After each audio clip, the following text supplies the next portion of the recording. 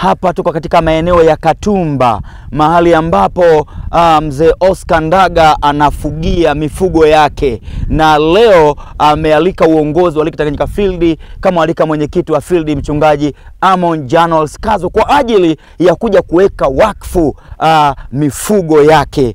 Hakika Mungu kwanza, kauli hii imeeleweka. Mungu kwanza katika mifugo, Mungu kwanza kazini, Mungu kwanza katika kila jambo. Kwa leo tunakwenda kuona program uh, ya kuwekwa wakfu uh, mifugo. Biblia inasema nchi na vyote vijazavyo ni mali ya Bwana, dunia na wote wakaao uh, ndani yake, hivi vyote ni mali ya Bwana.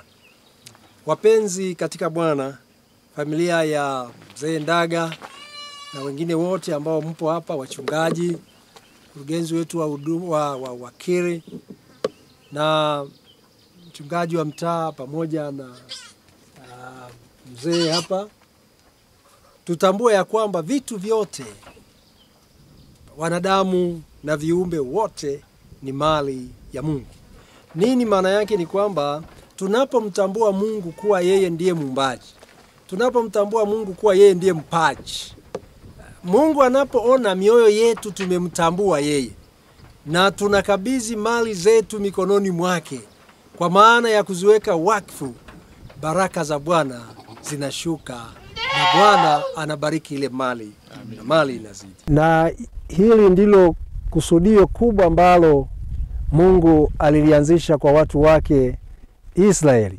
Walimtambua Mungu kwa kutoa mali ambazo Bwana amewapatia kwa kuziweka wakfu ili ziwe mikononi mwa Bwana na ziweze kulindwa na uongozi wa Mungu. Na hivyo basi, haya ni matokeo ya semina za Mungu Kwanza ambazo zimeanza kuendeshwa tangu mwaka jana na hata sasa zikiendelea katika firidi hii. Tumeshuhudia watu wengi wakitoa mifugo yao kuiweka wakfu, nyumba kuweka wakfu na mashamba kuweka wakfu. Leo nimewaita wachungaji ili waweze kuweka wakfu mifugo hii, kwa kuwa Biblia inatutaka tufanye hivyo, lakini pia ni matokeo ya semina ambazo zinaendeshwa na wachungaji wetu, kwamba tumufanye Mungu kuwa wa kwanza kwa kila ambacho Mungu ametubariki, na kwa kuwa Mungu ndiye anayetupa nguvu za kupata chochote ambacho anatubariki, basi nimeona ni vema kumkabidhi Mungu mwenyewe aweze kuvirinda na kuvitunza kwa kuwa ni ahadi yake.